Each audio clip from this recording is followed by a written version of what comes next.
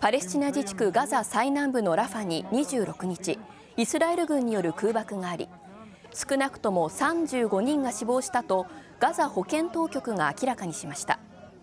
ガザ側の当局者によりますと攻撃されたのはイスラエル軍が避難場所に指定した場所で避難民が密集していたところだということです。